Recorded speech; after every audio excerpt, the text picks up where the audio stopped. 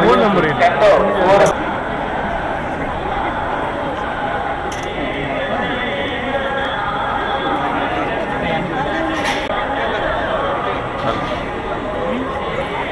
Okay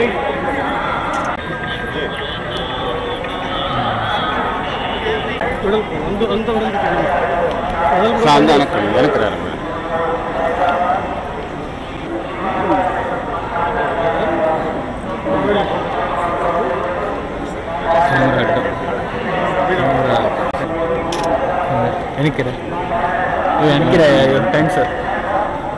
sir. వెనక్కి.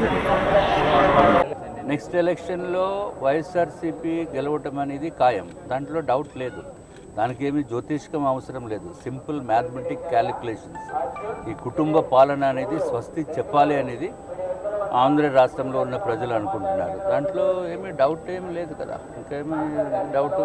అసలు ఇది ఇక్కడ ఆంధ్ర పక్కన పెడితే తెలంగాణ పక్కన పెడితే ఈయనల్లి చంద్రబాబు నాయుడు గారు అక్కడ కర్ణాటకలో తెలుగు వారందరూ ఏకమయ్యి బీజేపీని ఓడించండి అని చెప్పి ఇతర రాష్ట్రం గురించి మాట్లాడుతున్నారు.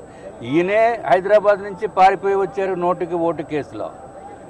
నోటికి ఓటు కేసులో హైదరాబాద్లో ఉంటే ఎక్కడ ఇబ్బంది వస్తుందో అనే ఉద్దేశంతో ఈయనేమో ఇక్కడ వచ్చి ఆంధ్రాలో ఉంటూ విజయవాడలో ఉంటూ ఆంధ్ర ప్రజలు తెల అక్కడ బెంగళూరులో ఉంటే మీరు వాళ్ళకి బీజేపీకి ఓటు వేయొద్దు అని చెప్పడంలో అనవసరంగా ఆంధ్ర ప్రజల్ని ఇబ్బంది పెట్టే పరిస్థితి క్రియేట్ చేస్తున్నారు. వాళ్ళు ఎవరికి కావాలంటే వాళ్ళకి ఓటు వేస్తారు.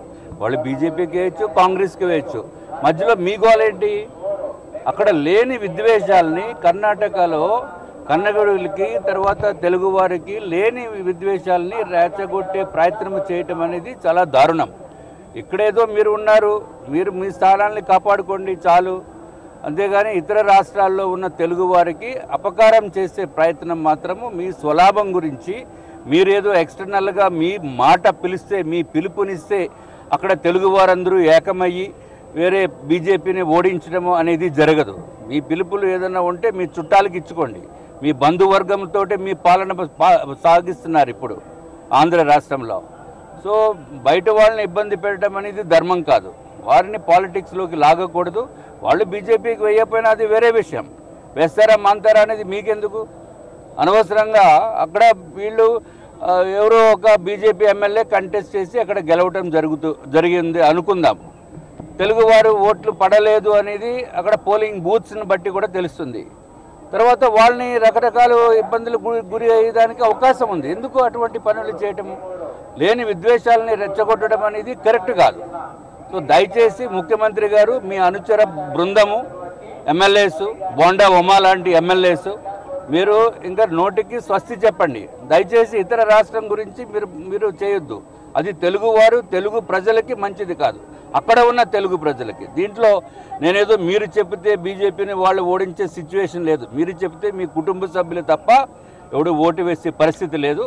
గ్యారంటీగా తెలుగుదేశం పార్టీ రెండు వేల పంతొమ్మిదిలో రాదు. దాంట్లో డౌట్ లేదు. మీ గ్రాఫ్ పడిపోయింది పూర్తిగా పడిపోయింది ఇంకా పతనం అయ్యే పరిస్థితి ఉంది.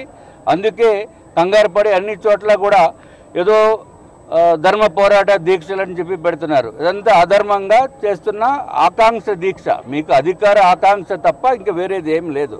ఈ సంవత్సర కాలము కూడా ప్రజల్ని ఇబ్బంది పెడుతూ అధికారులను ఇబ్బంది పెడుతూ అధికార యంత్రాంగాన్ని అంతటిని యూజ్ చేసుకుని మీరు ఈ దీక్షలు ఈ సభలు పెట్టి భ్రష్టు పట్టించే పరిస్థితి మీరు తీసుకువస్తున్నారని చెప్పి చెప్పడంలో ఏమాత్రం సందేహం లేదు. ఎవడన్నా వాలంటరీగా వస్తున్నారేమో ఒకసారి వెరిఫై చేయండి.